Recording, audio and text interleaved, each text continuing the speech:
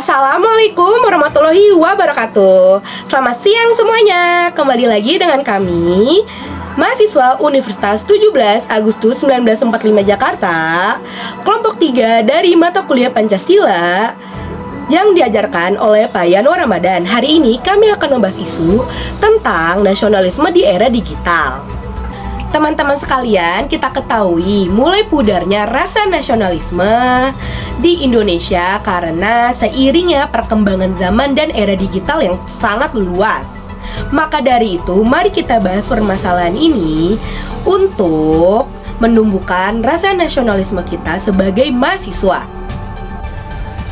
Nasionalisme adalah suatu sikap di mana loyalitas tertinggi dari individu adalah untuk negara dan bangsa. Era digital adalah suatu kondisi zaman atau kehidupan yang mana seluruh kegiatan yang mendukung kehidupan sudah bisa dimudahkan dengan adanya teknologi yang sangat canggih.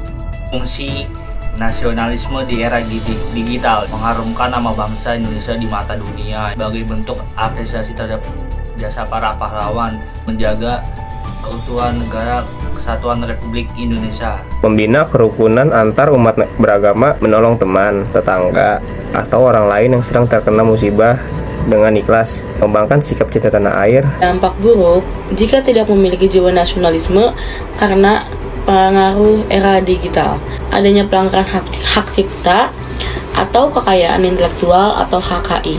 Ada rendahnya ketersediaan pekerjaan dan munculnya informasi digital yang tidak sesuai dengan fakta atau hoax. Saya akan melanjutkan dampak buruk jika tidak memiliki jiwa nasionalisme.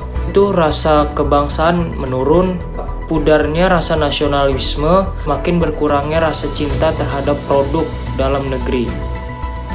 Peran mahasiswa dalam membangun nasionalisme di era digital, ajaran pendidikan kewarganegaraan, memperbanyak film yang bisa menumbuhkan jiwa nasionalisme. Memperkenalkan berbagai keragaman budaya dan bangsa, refleksi sejarah, memakai dan mencintai produk dalam negeri dan melihat pameran budaya.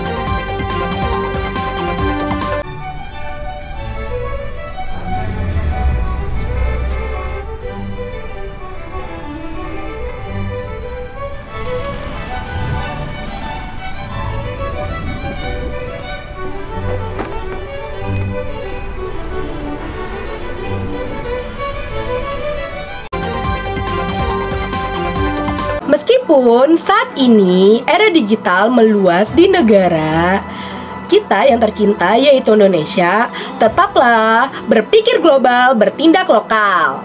Hidup Indonesia. Indonesia yang sangat kaya. Kaya akan keragaman. Keragaman budaya. Budaya, agama, dan alam. Alam yang dimiliki Nusantara. Nusantara milik bersama. Bersama mari kita jaga, jaga dan lestarikan. Lestarikan kekayaan Indonesia.